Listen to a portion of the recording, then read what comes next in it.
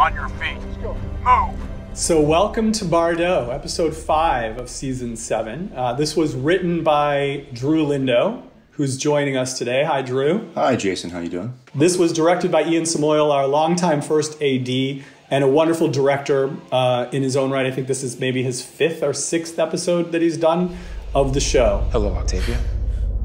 I'm going to start by asking you a few baseline questions. Drew, this is a crazy episode. This is, you know, the episode that will melt the noodle. Yeah, it's sort of a, a, Mobius strip of, of two stories happening in the same space at different times. And we're sort of wrapping up the end of Octavia's off screen story from season six. In season six, we saw her disappear into the anomaly for a short time and come back, having no memory of what happened. And slowly, here in season seven, we've been sort of going back and retroactively showing what transpired that led to the events of Hope returning and recognizing Octavia and, and Octavia's history with Diyoza. So this is the episode where Echo's team goes in to try to find Octavia and, and Bellamy, and, and we will also get to see, parallel to that, what happened when Octavia and Diyoza were taken over to Bardo for the first time. Octavia! Go tell the manager!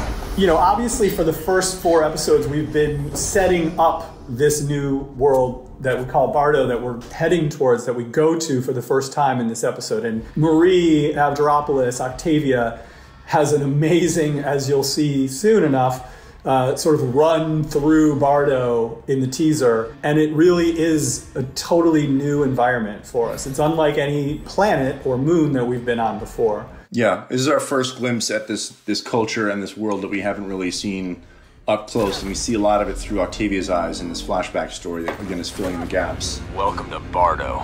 But we're also getting a glimpse of just how formidable the disciples are, their technology, um, and their society. It is very different and very rigid, and uh, clearly they are believers in a cause that we have yet to fully understand. Our characters are really inside the belly of the beast this episode, both in the past and in the present. In the light of the shepherd, we will not lose. So we meet Anders, who we've talked quite a lot about this season, and uh, he's played by Neal McDonough in an amazing, sort of very different, again, for our show, uh, kind of role and performance. For all mankind! We begin to unpack how they got here, who they are. And obviously, things don't quite add up. On behalf of the faithful, I demand the release of Russell Prime. Nobody knows yet that Russell is no longer Russell and that, that Sheidheda is inhabiting the body, having wiped Russell's consciousness clean. And so far, he's been using these followers on Sanctum as insurance to keep himself alive because they'll riot if anything happens to him. How does it feel to know they're willing to die for your freedom? Awful. But now we see in this episode what happens when the flock begin to try to come up with clever plans of their own. For the glory and the grace of the primes. And instead are going to actually make everything much more volatile in Sanctum, including Russ Heda's own safety and security. So Murphy and Indra will have to step up a little bit. You put them up to this.